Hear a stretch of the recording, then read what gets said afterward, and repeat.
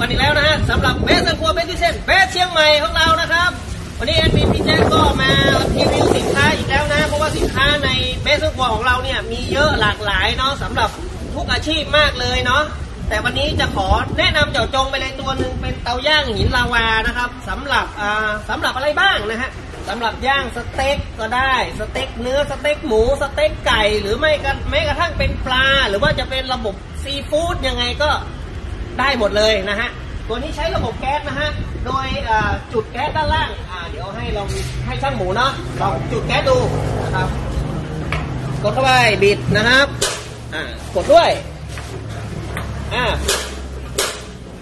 แบบนี้นะ ตัวนี้จะมีตัวเซ็นเซอร์อยู่นะฮะ ก็คือตรงจะเป็นตัวจุดสีเหลืองๆตัวนั้นนะครับ จะคอยอจับตัวเซ็นเซอร์ อ่า ถ้าเกิดมันร้อนแบบนี้พอปล่อยมือก็จะไม่ดับละ ก็จะเป็นเปลวแบบนี้หนึ่งหัวตัวเนี้ยจะควบคุมสองรางนะฮะลองจุดรางนี้ดูกดลงไปด้วย เห็นไหมครับเนาะก็ติดง่ายนะ ส่วนด้านบนก็จะเป็นหินละวา หินละวาที่เราแถมให้ลูกค้า หรือว่าลูกค้าเตรียมไว้เอาวางโปะบนนี้เนาะความร้อนตัวเนี้ยก็จะเข้าไปหล่อเลี้ยงหินนะครับทำให้หินมีความร้อนแล้วใช้ความร้อนตัวนั้นในการย่างย่างสเต็กหรือว่าเนื้อนะ อ่าลองเอาตัวเหล็กหล่อมาวางเลยครับ body ก็จะเป็นสแตนเลสเกรด304 นะฮะ ไม่มีสนิมเนาะ ส่วนตัวที่เป็นตะแกรงนะครับ ตะแกรงตัวนี้นะ